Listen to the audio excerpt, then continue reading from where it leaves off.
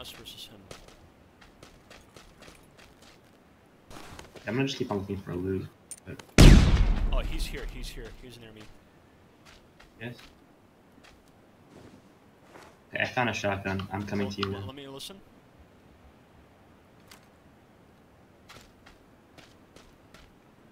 Yeah, I see him.